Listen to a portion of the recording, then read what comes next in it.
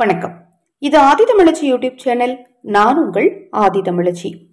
நம்ம ஆதி தமிழச்சி யூடியூப் சேனல்ல வாராகி தேவி பற்றிய எண்ணற்ற வழிபாட்டு முறைகளையும் பூஜ்ய முறைகளையும் தொடர்ந்து பதிவு செய்துட்டு இருக்கிறேன் தொடர்ந்து பாருங்க. பதினேழு இரண்டு இரண்டாயிரத்தி இருபத்தி நான்கு மாசி மாதத்தின் ஐந்தாம் நாள் சனிக்கிழமை அஷ்டமி திதி. இந்த நாளில் வாராகிதை வழிபாடு செய்கிறவங்க மிக மிக எளிமையான இந்த ஒரு பரிகாரத்தை செய்யுங்க. இன்று இரவு தூங்குறதுக்கு முன்னாடி உங்களுக்கு எப்போ நேரம் கிடைக்குதோ அந்த நேரத்தில் இந்த மூன்று பொருட்களையும் ஒரு பச்சை நிற துணியில உருண்டையா கட்டி வாராகி பாதத்துல பாதத்தில் ஒரு தட்டில் வச்சிருங்க. அந்த மூன்று பொருட்கள் என்ன எப்படி செய்யணும் அப்படிங்கிறத இந்த பதிவில் பார்க்கலாம்.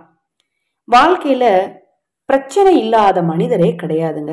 பிரச்சனையை நினச்சி நிறைய பேருக்கு பயம்தான் அதிகமாகுது. எனக்கு இப்படி பிரச்சனை இருக்குது அப்படி பிரச்சனை இருக்குது என் பிரச்சனையை நான் எப்படி தீர்க்க போகிறேன் எனக்கு நல்ல நேரமே அமைய மாட்டேங்குது. என் வாழ்க்கையில் கெட்ட நேரமாகவே இருக்குது நான் எது செஞ்சாலும் தோல்வியில் முடியுது.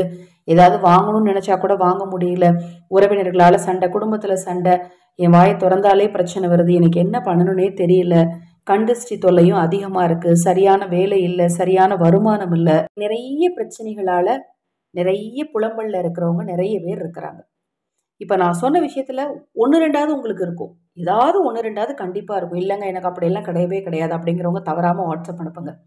எனக்கு ஒரு பிரச்சனையும் கிடையாதுங்க. நான் சும்மா வழிபாடு செய்கிறேன் அவ்வளோதான் அப்படிங்கிறவங்க தவறாமல் வாட்ஸ்அப் அனுப்புங்க.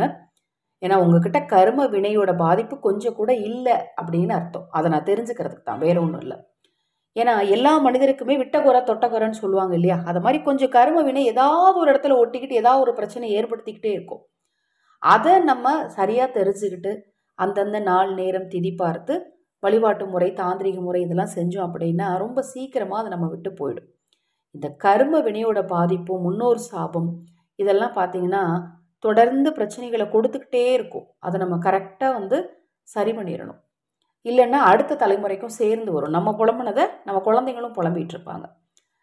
சிலர் வீட்டிலலாம் பாருங்களேன் பாட்டி தாத்தா ரொம்ப நல்லா சாமி கும்பிட்டுருப்பாங்க. அம்மா அப்பா அவ்வளோவா கும்பிட மாட்டாங்க. அடுத்த பேட்ச் நல்ல வசதியாக செல்வ செழிப்பாக சந்தோஷமாக இருப்பாங்க. அது அவங்க பாட்டி தாத்தா சேர்த்து வச்ச சொத்து. ஆனால் அந்த அம்மா அப்பா கும்பிடாம இருக்காங்க பாருங்கள் அதுக்கு அடுத்த பேட்ச் கஷ்டப்படுவாங்க. இப்படி இருக்குது இது வந்து இன்னும் புரிஞ்சுக்கிறதுக்கு இன்னும் ரொம்ப நாள் ஆகும்னு நினைக்கிறேன். நிறைய பேர் வீட்டில் சில குழந்தைங்க பேரண்ட்ஸ் பார்த்து கேட்குறாங்க நீங்கள் எவ்வளோ சாமி கும்பிடுறீங்க என்ன பண்ணுறது உங்களுக்கு என்ன கொஞ்சம் கஷ்டமா? அப்படின்னு கேட்குற குழந்தைங்க கண்டிப்பாக உங்கள் வீட்லேயும் இருப்பாங்க. இதில் என்ன வேறு விளக்கு பொறுத்துன்னு சொல்கிறீங்க கோயிலுக்கு போகணுன்னு சொல்கிறீங்க அப்படின்னு கேட்பாங்க. நீங்கள் அப்போ சொல்லுங்கள் உனக்கு அடுத்த தலைமுறை நல்லா இருக்கும் பாரு. நீ வழிபாடு செய். அதுக்கு அடுத்த தலைமுறை நல்லா இருக்கும். அப்படின்னு சொல்லி கொடுங்க. குழந்தைங்களுக்கு நம்ம சொல்லி கொடுத்தா தான் தெரியும். வழிபாட்டு முறையே நம்ம சொல்லி கொடுக்குறதே இல்லை.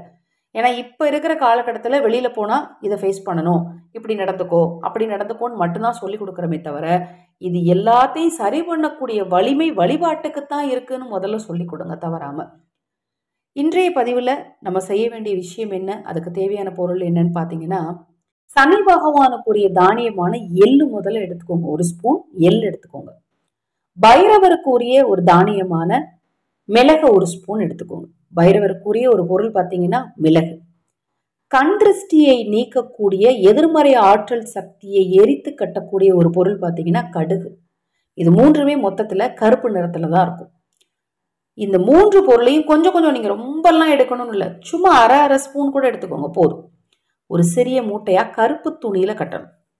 கருப்பு துணியில் கட்டி ஒரு தட்டில் வச்சு வாராகிதேவி பாதத்தில் வச்சிருங்க.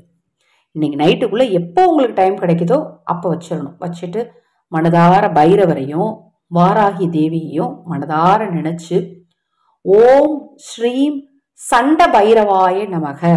ஓம் ஸ்ரீம் சண்ட பைரவாய நமக. அப்படிங்கிற மந்திரத்தை உங்களால் எத்தனை முறை சொல்ல முடியுமோ பூஜை நல்லெண்ணெய் ஊற்றி பஞ்சுத்திரி போட்டு கிழக்கு திசை நோக்கி ஒரு தீபம் ஏற்றி பால் அல்லது தண்ணீரை பிரசாதமாக வைத்து இந்த மந்திரத்தை சொல்லி முடிச்சுட்டு நீங்கள் உங்கள் வேலையை பாருங்கள் இரவு தூங்குறதுக்கு முன்னாடி நைட்டு நீங்கள் தூங்குறதுக்கு ஒரு அஞ்சு அல்லது பத்து நிமிஷத்துக்கு முன்னாடி அந்த மூட்டையை எடுத்து கொண்டு போய் வெளியில் வச்சு அது கூட ஒரு பத்து கற்பூரத்தை வச்சு கொஞ்சம் நல்லெண்ணெய் ஊற்றி எரிச்சு விட்ருங்க ரொம்ப ரொம்ப சிறப்பான ஒரு தாந்திரிக முறை ரொம்ப எளிமையான ஒரு தாந்திரிக முறை. இது மூணில் இந்த பொருள் எங்கள் வீட்டில் இல்லைன்னு நீங்கள் சொல்லவே முடியாது. கொஞ்சம் கொஞ்சம் எடுக்க போகிறீங்க பூஜையில் வைக்க போகிறீங்க அந்த மந்திரத்தை சொல்ல போகிறீங்க நைட்டு தூங்குறதுக்கு முன்னாடி இதை எரிக்க போகிறீங்க உங்கள் வீட்டில் இருக்கும் அத்தனை தீவினைகளும் அகலும். ஏன்னா நமக்குள்ள சுற்றி இருக்கிற விஷயங்கள் கெட்டதாக இருந்துச்சு அப்படின்னா நமக்கு நல்லது நடக்குமா? நடக்காது. அதோட வைப்ரேஷனை நம்ம தாண்டி வெளியில் போகணும் அப்படின்னா முதல்ல அதை தகர்த்தெறியணும். அதற்கான ஒரு எளிய சூற்றமம் தான் இப்போ நான் சொன்ன இந்த விஷயம். இதை நீங்களும் செய்யுங்க மற்றவர்களுக்கும் சொல்லுங்க. இப்போ நான் சொன்ன பதிவில் ஏதாவது சந்தேகம் இருந்தாலும் பூஜை பொருட்கள் தேவைப்பட்டாலும் உங்கள் தனிப்பட்ட பிரச்சனைகளுக்கு பிரத்யேகமாக ஆலோசனைகள் அல்லது பரிகாரங்கள் தேவைப்பட்டாலும் nine three double four six nine two zero four two இந்த வாட்ஸ்அப் எண்ணுக்கு தொடர்பு கொள்ளுங்க. தெளிவான விளக்கம் கொடுக்கிறேன். வாராகி தேவியினருள் உங்களுக்கும் உங்கள் குடும்பத்தாருக்கும் நிச்சயமாக கிடைக்கும். நல்லதே நடக்கும்.